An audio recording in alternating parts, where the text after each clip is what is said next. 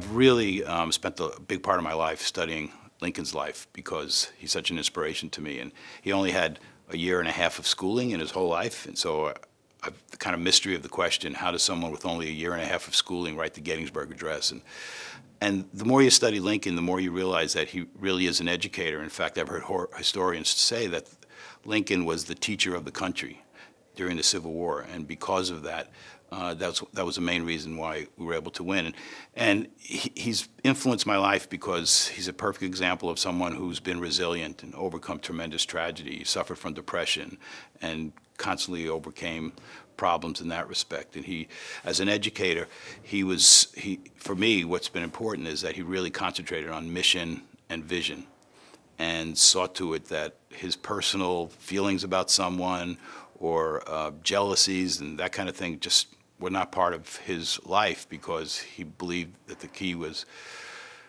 doing what the country needs to have done. And uh, so, so he's been, had a tremendous influence on my life. And, and lots of historians say that when you read about Lincoln, and I really believe this very much, it, it, it influences your own life where you want to do better at what you do.